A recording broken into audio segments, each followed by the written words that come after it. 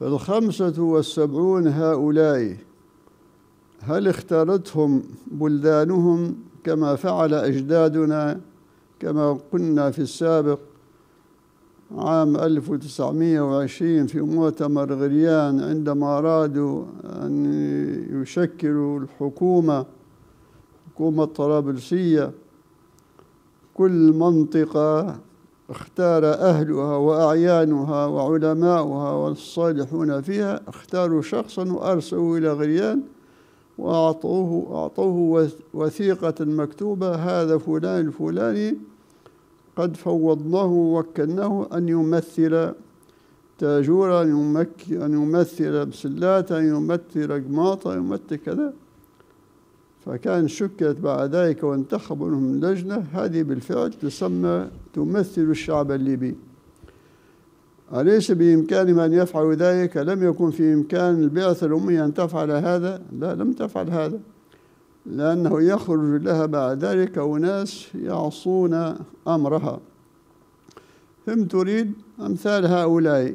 يعني تعمل معهم سياسة العصا والجزرة. يد فيها جزرة ويد فيها عصا. تقدم الجزرة فتطمعهم في المناصب. فإذا أراد أحدهم أن يقضم أكثر مما هي تريد قرعته بالعصا التي في اليد الأخرى فيجمد في مكانه.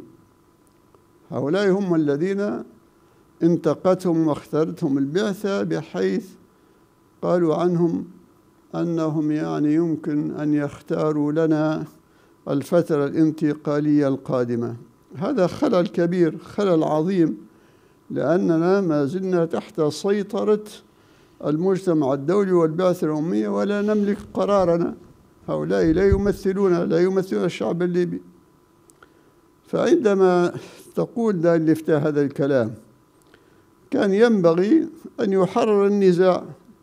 يردون علينا ويقولون لا يقول الإفتاء لا تعارض أو معارضة للحوار هذا كلام غير صحيح. مش هذا محل النزاع بيننا وبينهم.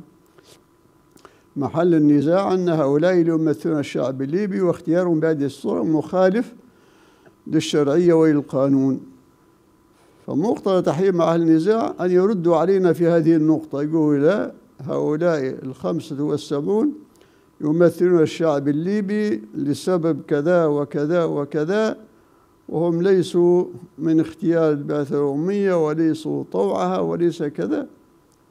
يعني نرى الوفود الآن مشتركة في الحوار لمدة الأشهر هذه الثلاثة والأربعة الماضية. جماعات جماعات بعضهم في بوزنيغا وبعضهم في الدقهلية وبعضهم في فيينا وبعضهم في تونس. هم عاملين مثل الضراير. كل واحد يعني يحاول أن يثبت أن ما عنده هو الأحسن وكيف يرضي هذه المبعوثة التي هي متحكمة في المشهد. هذا مثال. لا نريد أن نسمع أن دار الإفتاء تعارض هذا كلام غير صحيح.